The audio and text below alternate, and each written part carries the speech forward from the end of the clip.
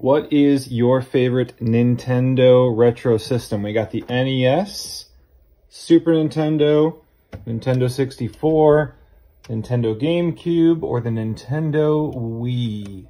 Let me know in the comments.